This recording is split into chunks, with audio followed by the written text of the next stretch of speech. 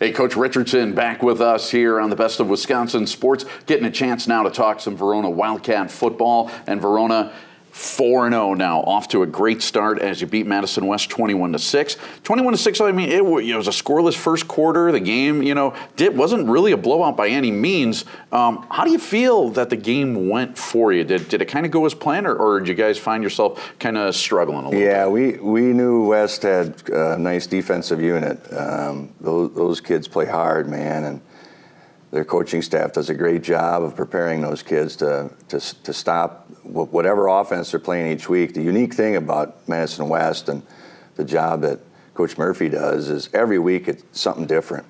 So, you know, even last year, the way they defended us was different than this year. And so you never know what to expect. And he had a great game plan and took away some things. And that frustrated me as the offensive coordinator.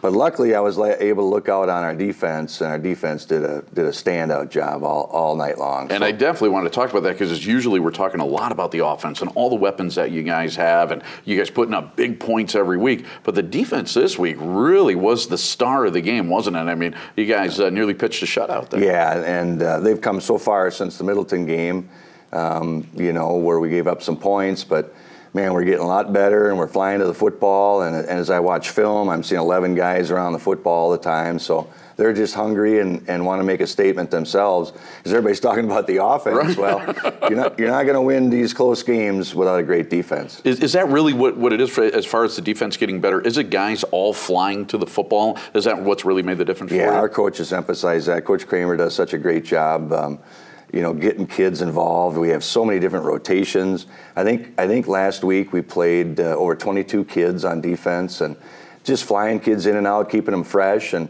when a kid gets a chance, man, he's he's going, and and he has no excuse not to fly around because he's not tired what a stretch of games you got coming up now, Coach. Now you're going to be at Sun Prairie, then you're going to be at uh, Madison Memorial. I mean, it can't be two bigger games than that. A huge test for your team.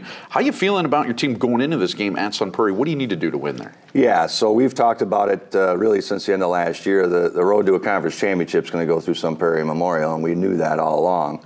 So we're prepping for that, and and you know, football is a little different beast than basketball or baseball. Where home field, I don't think is that huge of advantage. There's not a different backdrop. It, it's it's not a completely different setting and and atmosphere. So. Um, we just try to treat it like you know this is this is a, a game that uh, we need to win and play well. And if we turn the ball over and if we don't make tackles, we're going to struggle. And uh, it's going to be two evenly matched teams. And I think it's going to come down to who has the ball last.